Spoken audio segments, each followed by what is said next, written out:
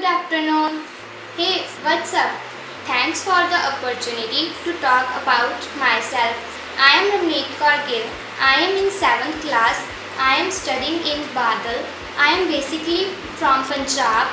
I belong to a middle class family. My strength is I am self-motivated, hardworking and disciplined person.